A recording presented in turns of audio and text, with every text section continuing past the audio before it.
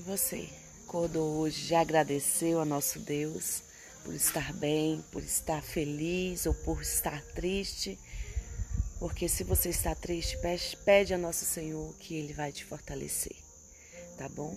É só não pode abaixar a cabeça e deixar as coisas cair sobre a tua cabeça e deixar você perder o seu seguimento e a sua sabedoria, entendeu? Então, bola para frente, né não? Bora, bora, bora agir e ser feliz, porque é o que importa na nossa vida, ser feliz, né? Se tem algo que tá te martirizando, se tá te machucando, bota seu joelho no chão e pede para nosso Senhor Jesus Cristo ele te fortalecer, ele te dar sabedoria para você chegar onde você tem que chegar. E aí, ele tá aqui vendo aqui eu falando.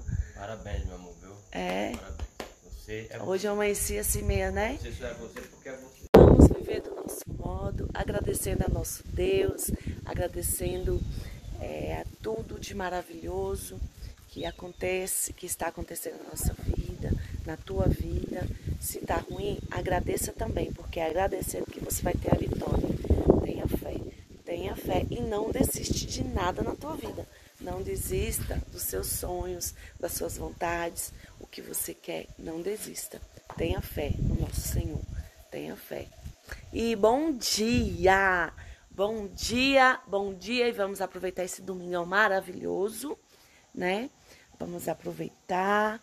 Se você não, você que tá, às vezes pode estar no hospital, né? Então, você que tá no hospital, tá passando por problema de saúde, tenha fé em Deus que nosso Senhor vai te curar. Nunca perca sua fé de lutar pela sua vida, tá bom? E você também que tá passando por muita dificuldade, tenha fé, não desista. Jamais, jamais não desista do que você quer para sua vida, o melhor para você, tá bom?